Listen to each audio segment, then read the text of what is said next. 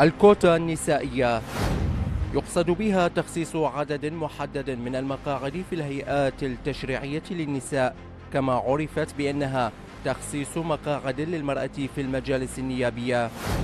تطبيق هذا النظام يتطلب إلزام الأحزاب السياسية بتخصيص مقاعد لوجود النساء في مستوياتها التنظيمية كافة. فهناك عدد محدد من المقاعد في مجلس النواب يتم شغلهن من قبل النساء. حيث لا يجوز أن يقل عدد هذه المقاعد عن النسبة المقررة قانونا. ومفهوم الكوتا ليس عربي الأصل فليس له معنى في معاجم اللغة العربية. ولكن بالرجوع إلى الغرب فإنها تعني النصيب. التشريعات بنظام الكوتا النسائية في بعض البرلمانات. التشريع المغربي حيث خصص 30 مقعدا من أصل 325 مقعدا في البرلمان المغربي.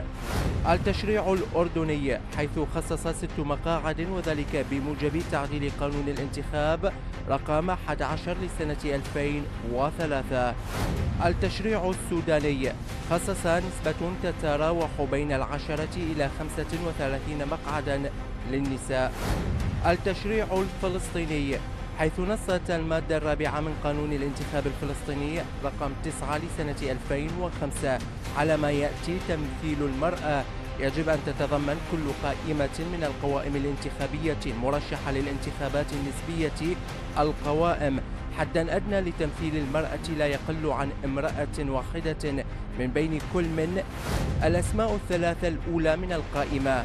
الأربعة أسماء التي تلي ذلك. كل خمسة أسماء تلي ذلك.